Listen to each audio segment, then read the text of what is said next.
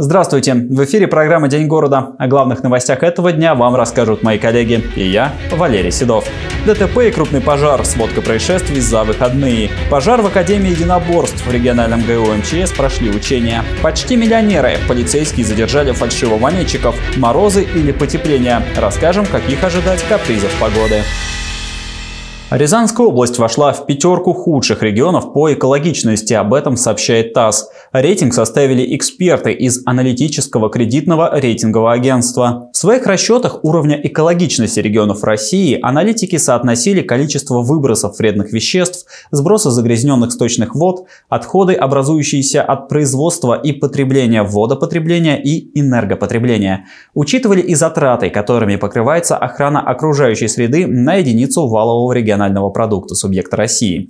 Сообщается, что 68 субъектов получили оценку в среднем диапазоне. Это говорит об удовлетворительном уровне экологичности ВРП. Кроме Рязанской области, опасения в сфере экологии у экспертов также вызвали Республика Карелия, Мурманская область, Кемеровская область и Северная Осетия, Алания. Сразу несколько чрезвычайных происшествий были зафиксированы на прошедших выходных в Рязанской области. В ДТП пострадали люди, а пожар на улице Мервинская принес материальные убытки. Последний день января, Клепиковский район Рязани. Три часа пополудни. 165 километр автодороги Москва-Касимов. Непрекращающийся снегопад, вдобавок к непростой трассе, для водителей стал дополнительной проблемой. Неудивительно, что нечасто проезжающим здесь автолюбителям приходится трудно. 42-летний житель столицы, управляя автомобилем Kia, по предварительной информации не справился с рулевым управлением своего авто, в результате чего допустил выезд на встречную полосу, где произошло столкновение с автомобилем Volkswagen Transporter,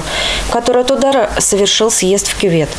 В результате дорожно-транспортного происшествия медицинская помощь понадобилась двум пассажирам автомобиля Kia – 39-летней женщине и 6-летнему ребенку. Еще одно столкновение, где участникам понадобилась медицинская помощь, произошло произошло на 177-м километре трассы Москва-Челябинск. Рейсовый автобус столкнулся с «Газелью». Водитель и пассажир грузовика отправлены в больницу. Совсем без жертв, но с куда большим материальным ущербом произошел пожар на улице Мервинская 31 января. На момент прибытия горел жилой одноэтажный дом и две хозяйственные постройки. Огнем уничтожен автомобиль. Общая площадь пожара составила 125 квадратных метров. Ликвидация пожара – 18 часов 19 минут. Погибших и пострадавших нет. К ликвидации привлекли 39 человек и 11 единиц техники. Причины пока не установлены, но рязанцев полыхающее пламя взбудоражило. Ветхая постройка, говорят, могла вспыхнуть из-за неисправной электропроводки. Максим Васильев, телекомпания «Город».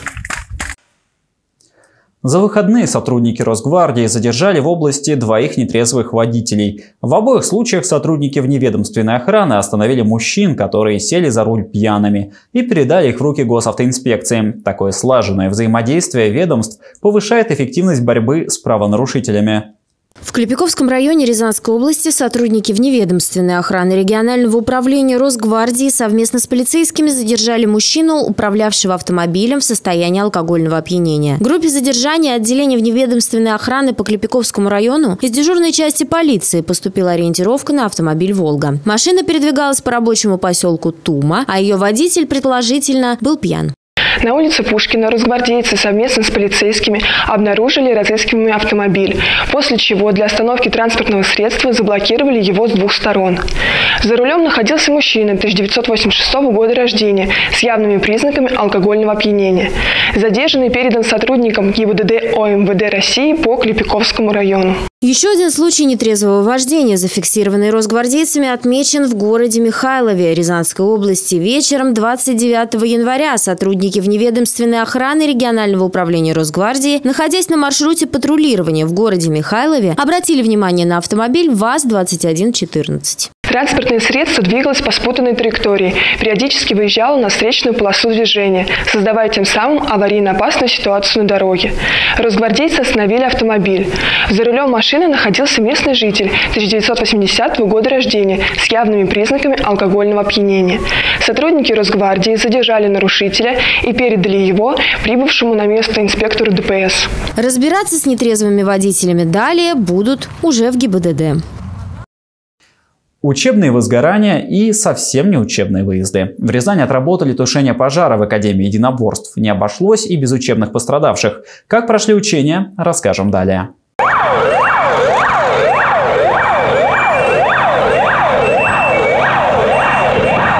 В МЧС поступил сигнал о возгорании. Замкнула проводку на складе инвентаря в Академии единоборств. Пожару присвоен повышенный номер вызова, а на место направлено несколько расчетов. Первым делом нужно оценить обстановку и выстроить правильное взаимодействие с персоналом комплекса. Каждое движение спасателей в этот день оценивает руководство. Это часть январских учебно-тактических занятий. Для проведения учения привлекли личный состав дежурные караулы местного гарнизона города Рязани, э, изучили с личным составом составом оперативно-тактические характеристики объекта.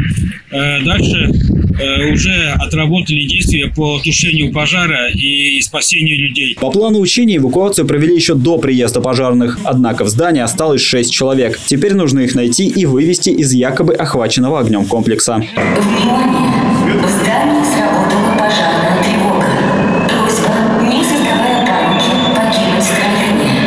Просто вывести людей не получится. В здании полно дыма, поэтому спасатели применяют спецсредства и доставляют персонал на свежий воздух. Здесь их осмотрят врачи и окажут необходимую помощь. Но в учении все не так просто. Спасаясь, люди спрятались на крыше здания. Здесь применяют спецтехнику.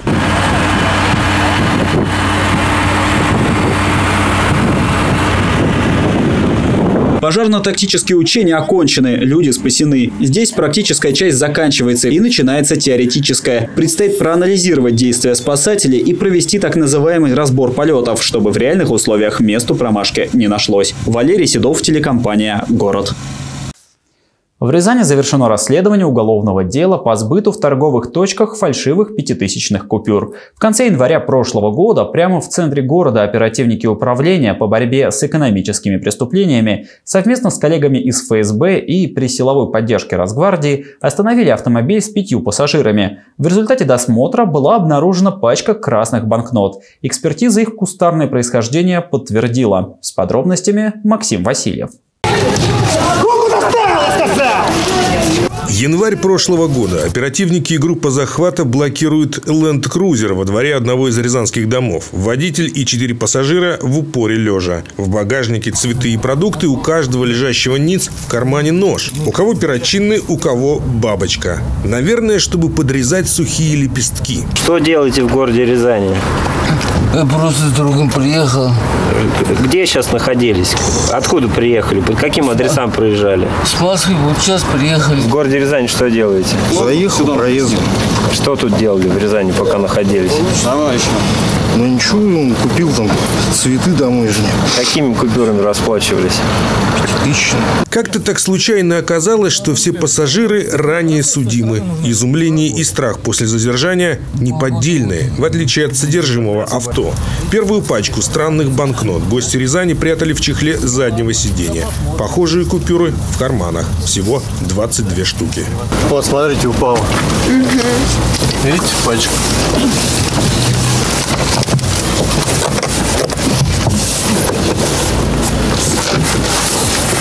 Вытаскивай на коврик сюда, не сфотографируйте. Сейчас сфотографирую. Серия ХБ 375 48 75 в наружном кармане рубахи нагрудном. В ходе расследования были проведены масштабные следственные и оперативно-розыскные действия с выездом сотрудников в Московский регион и в Калужскую область, где предполагались дополнительные эпизоды противоправной деятельности. Следствием установлено, что задержанные причастны к 13 фактам сбыта поддельных пятитысячных купюр в городе Рязани и в городе Клин Московской области, совершенным за неделю в конце января 2020 года. Вина щедрой компании, по мнению следствия, абсолютно доказана. По третьей части 186 статьи Уголовного кодекса им грозит до 15 лет лишения свободы. Максим Васильев, телекомпания «Город». В Рязани объявлен розыск. Судебные приставы ищут Ивана Геращенко. Причина – его долг по алиментным платежам. На экране фотография Ивана Ивановича Гераченко. Ему 31 год, а его дочери нет и 10. Однако растет она без отца. А недавно мужчина и вовсе перестал выплачивать алименты на ее содержание. Сумма накопилась немаленькая – 110 тысяч рублей. Теперь в отделении судебных приставов по Скопинскому и Милославскому районам возбуждено исполнительное производство. Должник, зная свои обязанности выплачивать алименты, не исполняет решение суда и уклоняется от уплаты средств на содержание детей. В связи с тем, что по месту регистрации мужчина не проживает, по последнему известному месту жительства, а именно в поселке Октябрьский Скопинского района не установлен, на связь с судебными приставами не выходит, по инициативе судебного пристава исполнителя он объявлен в розыск. Управление Федеральной службы судебных приставов России по Рязанской области обратилось к гражданам, которые знают, где сейчас находится должник. Ведомство просит связаться с ними или обратиться в дежурную часть. В соответствии с федеральным законом от 27 июля 2006 года номер 152 о персональных данных судебные приставы исполнителя в рамках исполнительных производств по принудительному исполнению судебных актов вправе осуществлять обработку, в том числе распространять биометрические персональные данные без согласия должника. Узнать о своих долгах можно на сайте ФССП России или в мобильном приложении. Там же есть функция проверить наличие возбужденных в отношении себя исполнительных производств. Валерий Седов, Михаил Лазуткин, телекомпания «Город».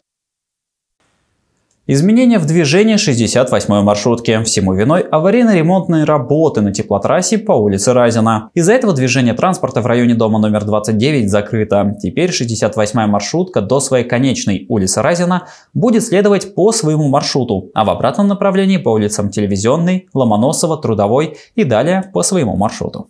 Последний зимний месяц известен своей неустойчивой погодой. В зависимости от региона могут наблюдаться как сильные морозы, так и аномальное потепление. Марина Романюк расскажет, какой погоды ждать рязанцам. Февраль месяц лютый. Спрашивает, как обутый. Народная присказка, лучше всего отражающая характер последнего месяца зимы. Из-за суровых морозов наши предки называли его сечень или лютый, лютень. А за обилие вьюг и метели он получил прозвище вьюговей, вьюжник, метельник, крутень. Юге метели под февраль полетели. У февраля два друга – метель да вьюга, гласят поговорки. Были у февраля и такие названия, как снежень, снежен, снеже, снеговей. За самое большое количество количество снега зимой, а также название межень, поскольку в феврале зима с весной встречается впервой. Согласно предварительному прогнозу гидрометеоцентра, февральская погода в этот раз не будет слишком суровой. В европейской части России, на северо-западе Сибири, Уральском регионе и на Таймыре температурный режим будет отличаться от нормы примерно на 1 градус. Дневная температура в европейской части прогнозируется в пределе минус 1,8 градусов. Ночью столбик термометра может опускаться ниже 6 10-13 градусов. На территории Рязанской области предварительно прогнозируется стандартная для этого месяца погода. Дневная температура будет в пределе минус 1-6 градусов. В ночное время она может опуститься до 11-15 градусов ниже нуля. В середине месяца ночные температурные показатели могут быть в районе минус 25 градусов. Осадков ожидается значительно меньше, нежели в январе. В основном будет наблюдаться пасмурная погода. Солнечных дней синоптики обещают крайне мало. Хотя первый февральский день отмечен легким приятным морозцем, ясным небом и ярким солнцем. Это были все новости на данный момент. Еще больше информации вы сможете узнать на нашем сайте город62.тв и в группе в социальных сетях. А на этом я с вами прощаюсь. Хорошего вам дня и до встречи в эфире.